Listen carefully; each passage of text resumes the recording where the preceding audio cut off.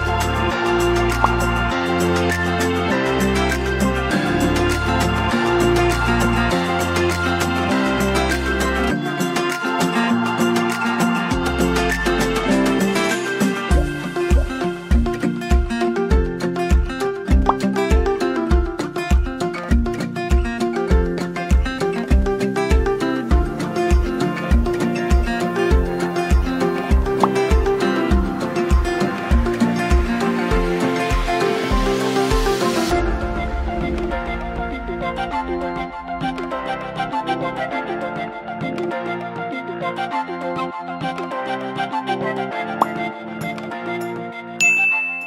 go to the review part ng video na to. During the first weeks Actually, mga 2 weeks na ginagamit ko siya.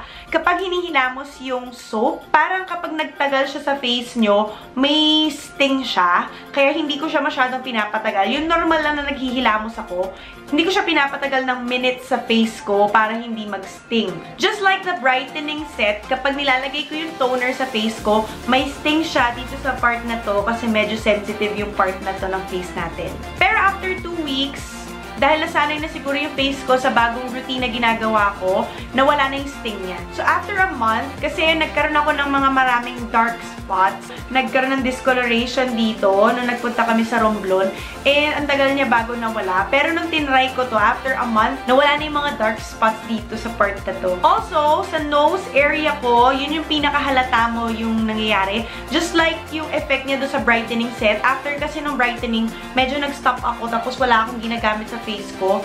Nung ginamit ko yung resurfacing set, kita mo na nag-smoothen out uli yung bandang nose area ko. And yung appearance ng blackheads, nabawasan siya. Overall, I would recommend this skincare kasi mura na siya and effective pa. And ang pinakamaganda dito, kapag tapos mong gamitin yung serum niya, talagang nagiging glass skin ang face mo. So if you want to get your own, I'll be leaving the links in the description box below para i-check nyo na lang doon. So that's it for this video. I hope you like it. If you have any questions or suggestions, just leave it in the comment box below. And I'll see you next time. Don't forget, smile. There's always a reason to be happy. Bye!